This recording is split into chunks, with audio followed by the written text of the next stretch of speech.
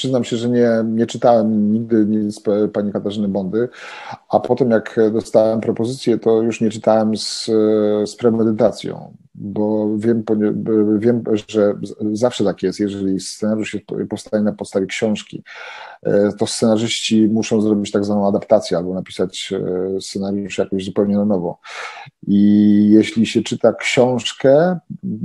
mając scenariusz już, to potem aktorowi jest po prostu po pierwsze żal, że jest masę wątków, które nie weszły do tego scenariusza i przez to do serialu.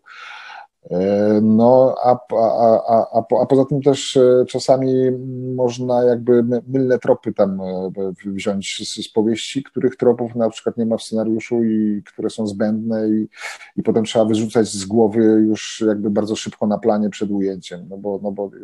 mówi się reżyserowi, ale on tam w książce, na co reżyser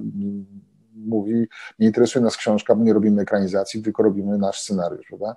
Więc nie, nie czytałem. Teraz być może przeczytam no właśnie z czystej ciekawości, żeby zobaczyć, jak, to e, scenarzyści pokroili